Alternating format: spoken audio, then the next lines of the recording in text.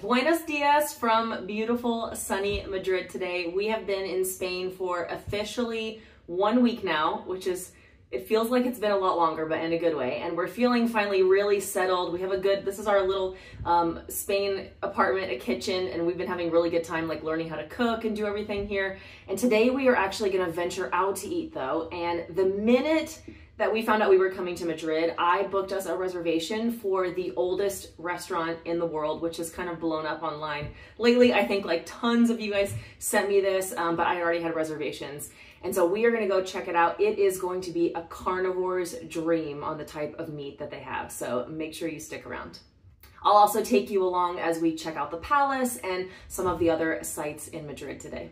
Before we go though, I am going to have some electrolytes. This video is sponsored by LMNT, which is the electrolyte drink mix that we use every day. So yesterday we actually went to the El Retiro Park and walked around. The kids played with a soccer ball and we just spent like hours outside in the sun. And by the time we got home, we were all so thirsty. I didn't take any electrolytes with us beforehand and we were having water while we were out, but sometimes just water doesn't actually quench that thirst, especially when you're eating low carb or carnivore, unless you're adding a salt-based electrolyte. And so today I'm gonna load us all up. I'm gonna put a half a pack of this grapefruit LMNT in my 24 ounce water. And then I'm actually gonna take the other half of the packet and mix it in the kids' waters as well so they can have a little extra hydration.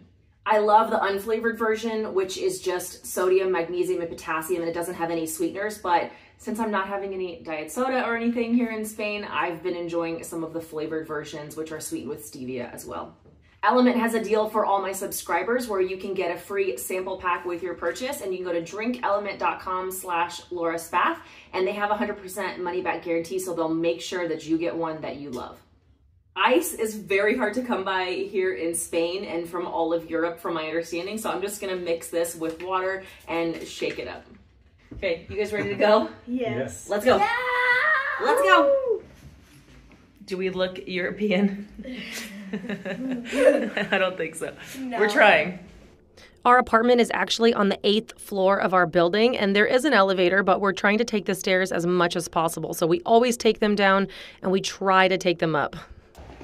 What took you so long? The metro system here in Madrid is really convenient and affordable. So, for the three months that we're here, we don't have a vehicle and we're just taking public transportation. It's very safe, also. Our apartment is near the office where I work every day in the Salamanca Goya area. And so, with just about a 10 minute train ride, we can be downtown to the Plaza Mayor and the palace and all of the main attractions of Madrid. My kids are very suburban kids and are used to the cookie cutter area of Gilbert, Arizona. And so this has been a really fun place to explore a lot more of a metropolitan city in a very safe environment.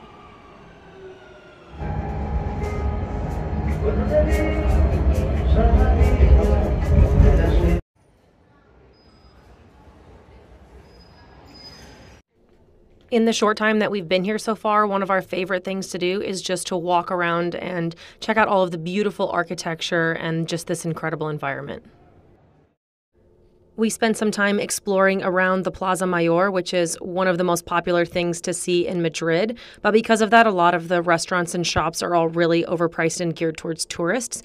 So if you happen to come and you're looking for a good meal, venture outside of the plaza.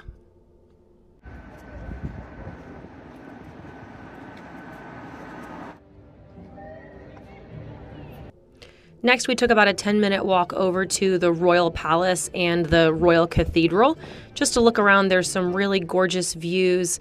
This was a beautiful Sunday morning and the weather was perfect, so it was fun just to spend some time enjoying the sights of Madrid as a family.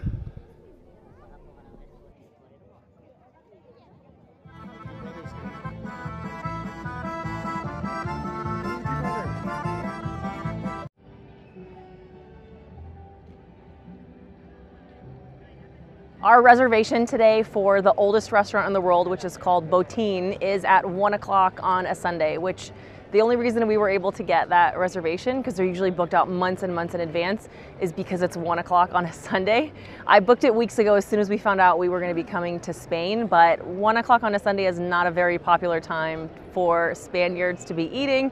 Um, they usually do lunch between 2 and 4 p.m. and then most restaurants close from 4 until 8:30 p.m. and then dinner starts around like 9 o'clock at night. So that meal schedule has been an adjustment for us, but we're going to enjoy the fact that we get to go to this restaurant today for lunch.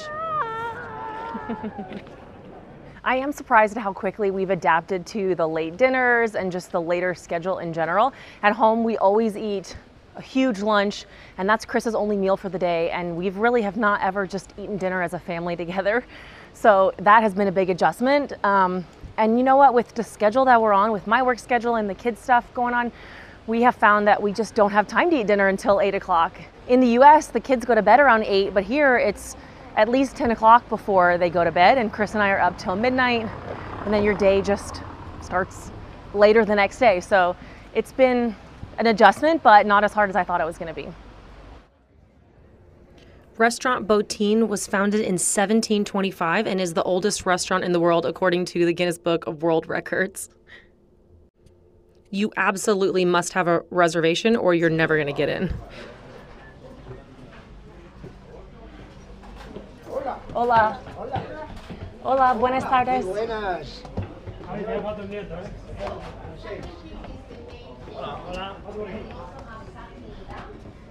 Hola. Hola. They are famous for their cochinillo, which is their suckling pig, which is exactly why we're here today. The pig is cooked in its own broth and fat and juices, and then it is heated up in this wood fired oven. It is incredibly tender and juicy with this unbelievably crispy skin. Chris and I ordered an entire pig, which is six portions. The server kept reminding us this is for six people, but being true carnivores, we decided to tackle it ourselves. The kids were brave enough to taste it, but Penelope got herself a New York strip, and Nathaniel had some roasted chicken.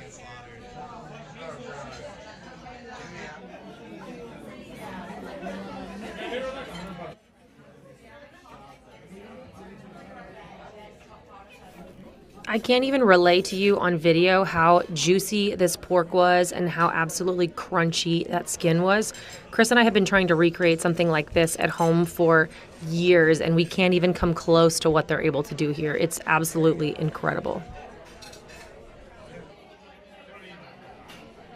I'm sure the proper way is not to eat this and rip it apart with your bare hands like we were, but I felt like that was the true carnivore way of eating a whole pig.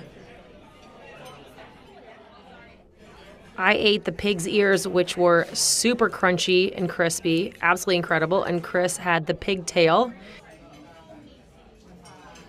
He also ate the pig's cheeks, which is an absolute delicacy. It's some of the most tender meat on the pig.